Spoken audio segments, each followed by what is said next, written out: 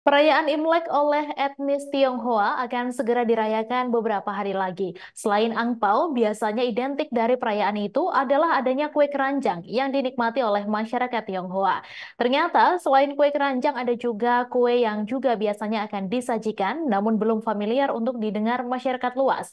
Ia adalah kue teratai Shantou yang merupakan kue sejenis bakpao yang juga cukup nikmat untuk disantap saat perayaan Imlek. Untuk informasi selengkapnya akan disampaikan langsung oleh wartawan Tribun Bali, Niluh Putu Wahyunisari. Silakan rekan Putu. Waktunya, uh, orderan kue teratai Sianto meningkat jelang Imlek 2024 di Bali. Perayaan Imlek oleh etnis Tionghoa akan segera dirayakan beberapa hari lagi.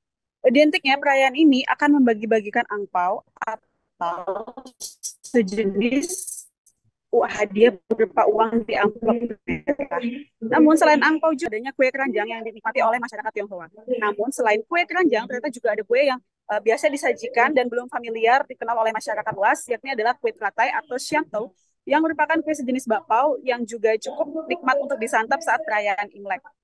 Salah satu usaha yang memproduksi kue teratai berada di Jalan Nangka Selatan dan Pasar.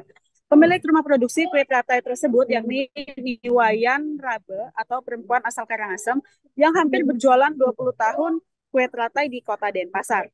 Uh, dia memproduksi kue teratai sejak tanggal 6 Februari 2024 uh, dan kemarin merupakan orderan terakhir yang ia buat. Namun jika ada uh, pelanggannya yang memesan kue teratai lagi, ia akan uh, membuatkannya lagi. Dan kue teratai ini uh, dititipkannya dititip, dititipkannya di tiga toko dengan total produksi dari awal yakni dari 6 Februari sampai hari ini kurang lebih berjumlah ribuan.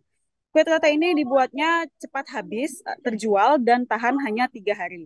Untuk isian kue teratai ini terdiri dari kacang hijau, kacang merah, uh, pandan, dan juga kacang tanah. Untuk harganya mulai dari Rp8.000 per bijinya ada yang uh, menggunakan kue teratai ini uh, untuk dikonsumsi atau untuk persembahan uh, jelang Imlek nanti.